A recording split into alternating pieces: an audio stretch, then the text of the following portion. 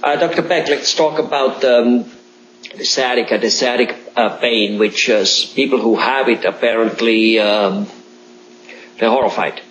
Um, uh, tell us a little bit about it. Tell us how what can be done. Can there be something done? Um, and especially can there be something done besides surgery, hopefully? Mm-hmm. Well, sciatic pain refers to pain going down uh, your leg, typically starting in the back and presumably by a pinched nerve in your back. And uh, typically this will have a kind of electrical quality to it. It'll be sort of a lightning bolt down your leg, or it can be a numbness or a tingling or electrical shock. Um, and it's uh, it's really actually pretty common in people that have it. It'll come and go. And you're right, it scares people because they they're worried that they're getting nerve damage. They've got a, a ruptured disc in their back that needs to be surgically fixed. Now, there's a couple of reasons why you can have sciatica. One is, again, a pinched nerve in your back, usually from a ruptured disc. It also be from arthritic spurs in your back that sort of bite down on the nerve. And the second reason I see is uh, your hip muscles can actually pinch the sciatic nerve. You know, the sciatic nerve goes down the back of your leg uh, and through your hip muscles. And people that have really tight hip muscles, particularly uh, men uh, and people that don't stretch very much, uh, this can actually squeeze the sciatic nerve. And what people will find is they get the same symptoms, uh, particularly like when they're driving or sitting or using their leg. They can get these uh, same uh, tingling and shocks uh, down their leg that uh, mimics the sciatic nerve uh, or a pinched nerve in the back. Okay. So, and so what are we dealing about in terms of fixing it? Well, as I tell uh, everybody, and I say over and over again, uh, find out what's causing it. And so if, what you need to do is do testing to see what indeed is causing this problem. Now, if the sciatica or the sciatic type pain is coming from a pinched nerve in your hip, uh, this usually will have to be tested with nerve testing, which is a procedure that I specialize in. And we can tell if the conduction of that nerve is blocked somewhere in your hip muscles by doing some very specific tests. Uh, the second way we can find out whether you're having uh, problems or where the problem's coming from is by an MRI scan of the back, which is uh, something we usually do a little bit farther down the road. But the, the nerve testing can help us sort out things pretty quickly uh, with um, a minimal amount of discomfort. Wonderful. Okay.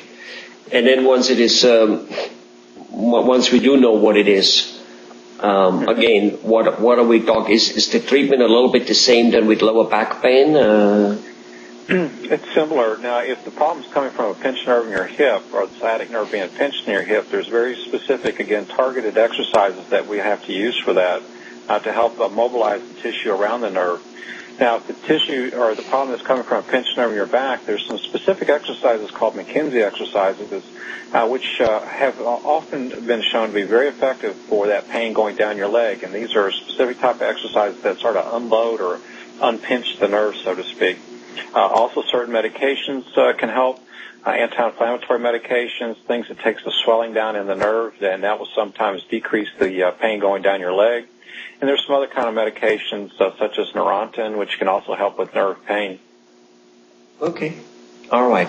And again, surgery in many cases not needed, or yes, needed? Uh, in most cases, no. And that's a good thing, right? Yeah, a lot of people like to avoid it, uh, and uh, like I said, we probably see 80 to 90 percent of cases we see are treated successfully without surgery. And in what time frame, more or less? Uh, I typically see people in a six to eight week time frame to get the what I call acute symptoms down, or the the, the hot symptoms down. Right. And then we may need to treat people on and off uh, for sometimes several months. Got it. Got it.